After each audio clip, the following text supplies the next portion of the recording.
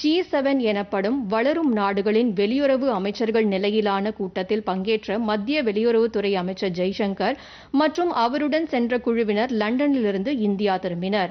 அமைச்சர் ஜெய்சங்கருடன் சென்ற குழுவினரில் சிலருக்கு கொரோனா தொற்று உறுதி செய்யப்பட்ட நிலையில் சிகிச்சைக்கு பின்னர் குணமடைந்ததால் நேற்று அவர்கள் தாயகம் திரும்பியதாக மத்திய அரசு தெரிவித்துள்ளது.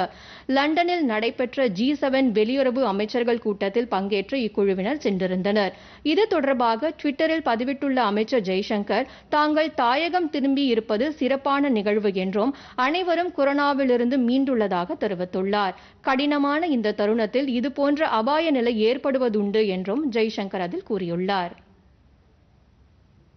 மாநிலங்கள் மற்றும் யூனியன் பிரதேசங்களுக்கு இதுவரை பதினேழு கோடியே ஐம்பது லட்சம் தடுப்பூசி டோசுகள் இலவசமாக வழங்கப்பட்டுள்ளதாக மத்திய அரசு கூறியுள்ளது. இவற்றில் இன்று காலை வரை வீணடிக்கப்பட்டது உள்பட பதினாறு கோடியே அறுபத்தி ஐந்து லட்சம் டோசுகள் பயனாளிகளுக்கு வழங்கப்பட்டுள்ளதாக அரசு வெளியிட்டுள்ள செய்திக்குறிப்பில் தெரிவிக்கப்பட்டுள்ளது. மாநிலங்கள் மற்றும் யூனியன் பிரதேசங்களில் இன்னும் எண்பத்தி நான்கு லட்சத்திற்கும் அதிகமான கொரோனா தடுப்பூசி டோசுகள் கையிருப்பில் உள்ளதாகவும் அதில் கூறப்பட்டுள்ளது.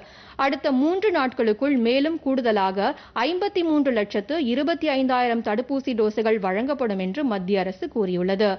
தமிழகத்தை பொறுத்தவரை இதுவரை எழுபத்தி நான்கு லட்சம் டோஸ் தடுப்பூசிகள் வழங்கப்பட்டுள்ளதாக மத்திய அரசு வெளியிட்டுள்ள பட்டியலில் குறிப்பிடப்பட்டுள்ளது.